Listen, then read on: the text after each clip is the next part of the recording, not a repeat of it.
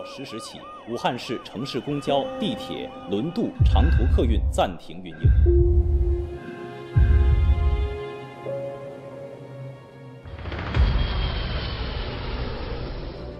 我是一月十九号晚上接到通知，连夜就赶到武汉。病人在哪里，医生就应该在哪里。气管插管是一个传染风险最高的操作，我是一个有经验的医生，应该我先来。作为医生，有时候是需要豁出去的。我总是会握着病人的手说话，这样他们就能感觉到医生的温度，感觉到更多的信心。重症患者是把生命托付给我，看到他们的病情好转了、康复了，我们的心情就像黑夜看到曙光一样，非常的高兴。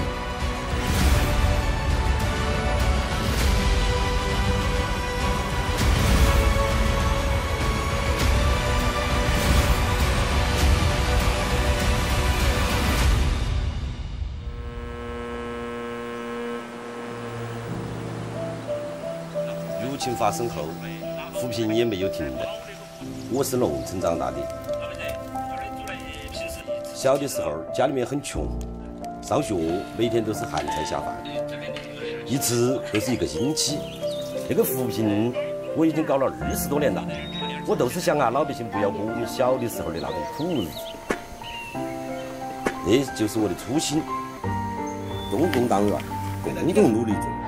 让每一个中国人都过得更好些。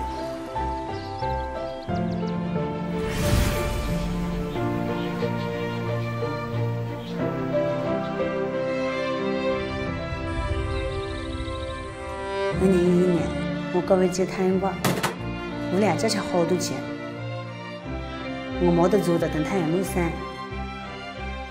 二零一二年，我涨的第一桶金，办个赞。在政府的帮助下，还办起个公司。我家乡三十多个村，一千两百多个病房屋，千万个员工或者是股东。只要志气在，太阳就会照样升起。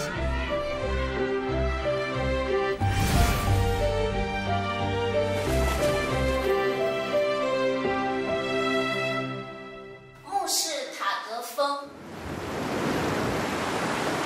抓住我的手，脚对着上。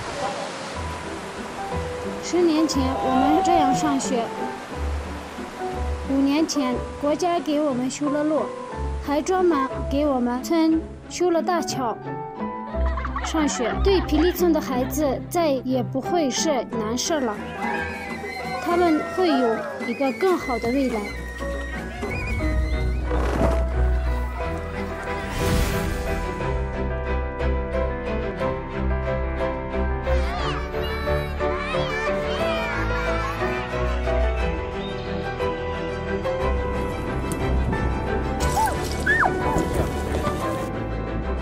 但是我自己这个县校嘛，该必修修课是没办法嘛。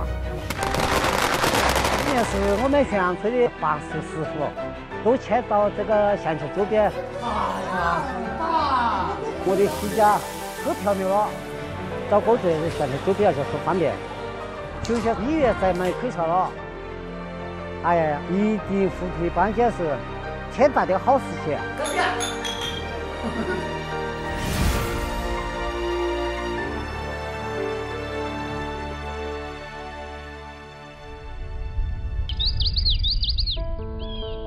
二零一三年，我得了重病，借遍了亲朋好友，也不够手术费。我妈天天以泪洗面。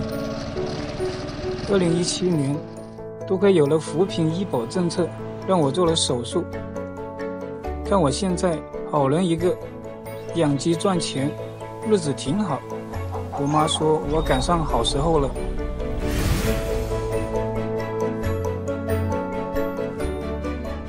欧阳一鸣，欧阳，欧阳。我大学刚毕业就到了这儿，刚驻村那会儿困难挺多的，住宿吃饭条件不好，还有高原反应。